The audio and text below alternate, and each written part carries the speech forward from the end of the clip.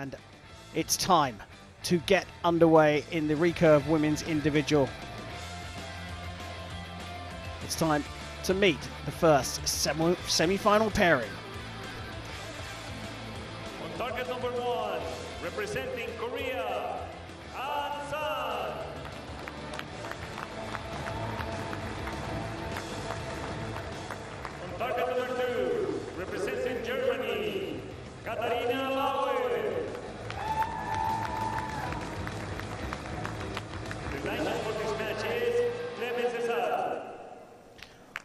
Well, there are the athletes. I'm Karen Bashir, and I'm joined by Dutch Olympian Chef Vandenberg. Sjef, what a session we've got to look forward to here.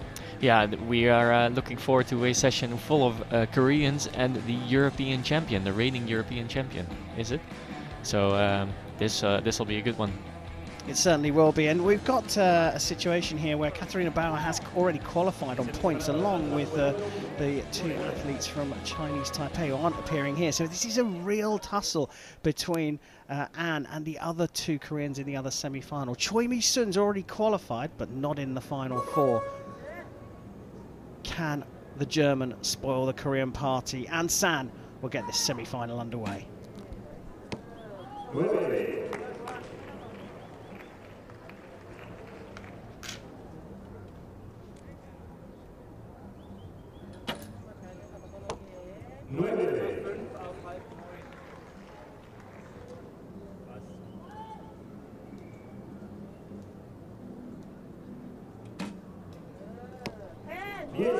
It's just textbook technique from uh, An San. It's uh, it's lovely to watch.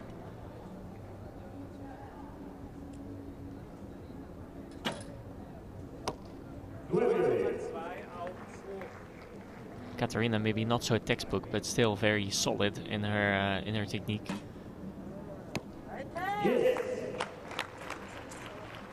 As An San gets this first set underway with a 2-0 lead, as Katharina cannot shoot an 11 on this shot.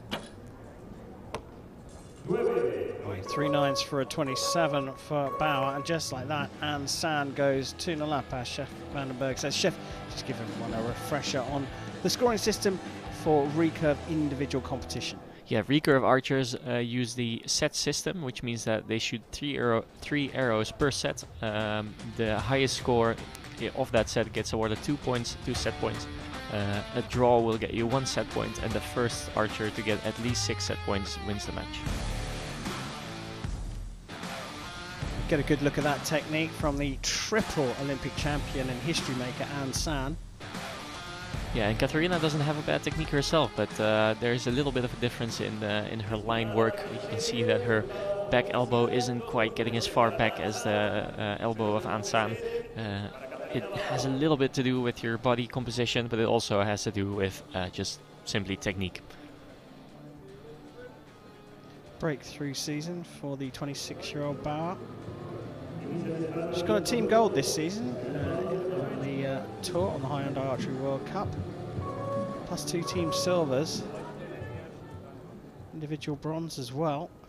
As uh, Sjef mentioned, European team champion at 2022, but she's behind here. Katharina Bauer to get set number two underway and has to come from behind against An San.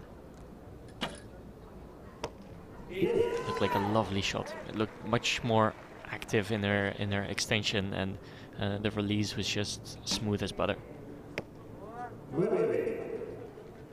And An San has a great group, a little bit low and a little bit to the right, but that's the only thing you can really say about it because it's it's quite good.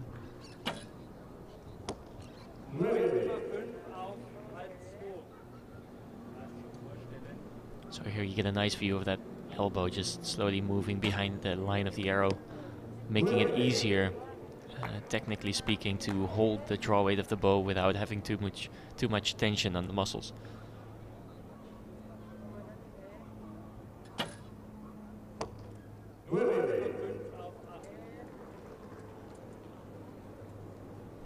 Bit of pressure on An San here. 10 to share the points. And it's just clipped the line for a 28. So uh, all square in the set, which means An San maintains her two point lead 3-1 halfway to the target score of six points for the win.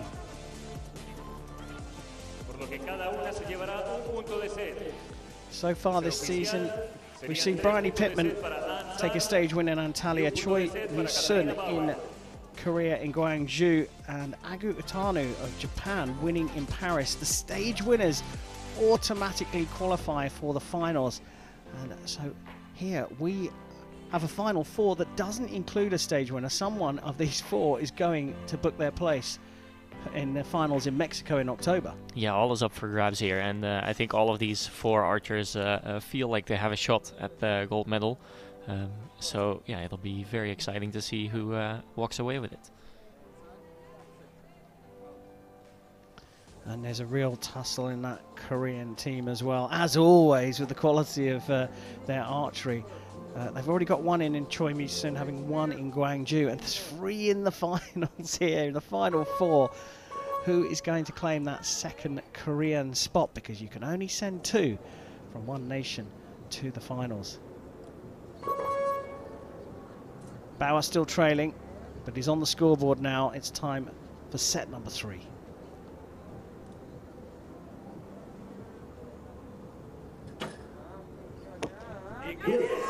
Such a, a good shot uh, from Katharina, but also from the cameraman. It was a, a lovely shot to have an overhead to see uh, just how uh, all of the lines in the shoulders and in the arms uh, just have to be one big uh, picture.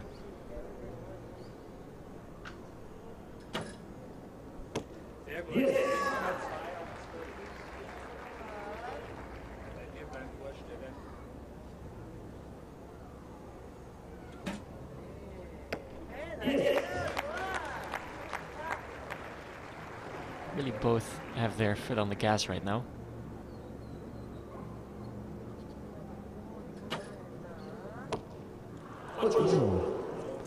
And that's the first arrow we've seen go out of the gold this final.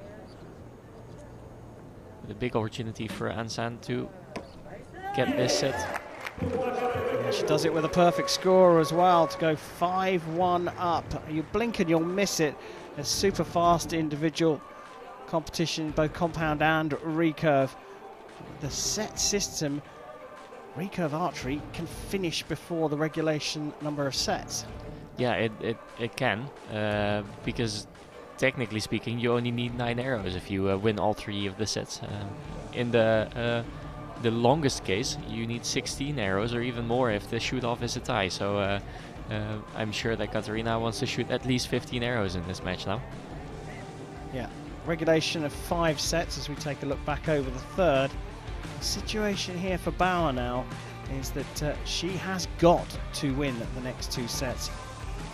An San, a triple Olympic champion, all she has to do is match the scores that Bauer puts down to get the one set point she needs for victory.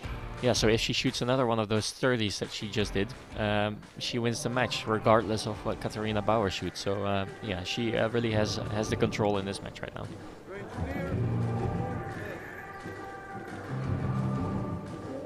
Time to return to the shooting line. And Germany's Katharina Bauer giving herself a little pep talk there. She knows she's got to put down a big score to put An San under some kind of pressure.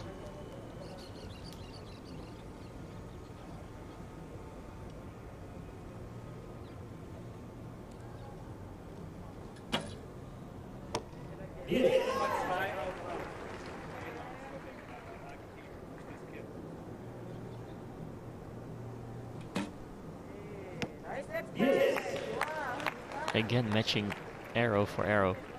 I like that um, uh, Oliver Haidn, the coach of Katharina, was uh, very specific in where that arrow landed. He didn't just say that's a 10, you did a good job. He said that's a 10.2 at 8 o'clock. So he's very specific in the in, in the information that he's giving her, and that must have been something that they uh, have either decided together or have practiced.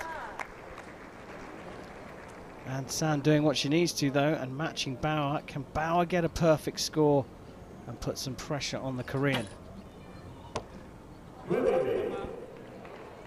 So a 29, a 9, 4, victory in semi-final number one, and a nine is what An San gets, just enough to do the job. She takes the first semi-final over Katharina Bauer by six points to two.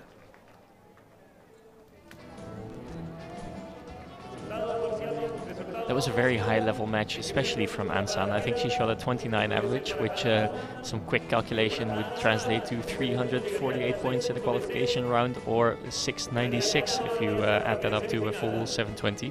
Uh, which is higher than the world record. So this uh, just uh, shows you how good she is actually shooting uh, in, in, a place like this finals venue.